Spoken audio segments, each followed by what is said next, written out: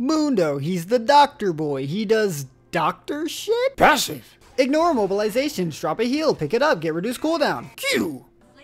Fuck you. Fuck you. Fuck you. W. AoE tickle damage. Part of the damage you take is stored as gray health, and then it explodes, healing you for the gray health if you hit something. E. I'm a fucking masochist. More damage, please. Big boy auto. And guess what happens if I manage to get a kill with this big boy auto? Yay! Ult. This just in, the doctor recommends steroids. They give you movement speed, attack damage, and a fuck ton of healing.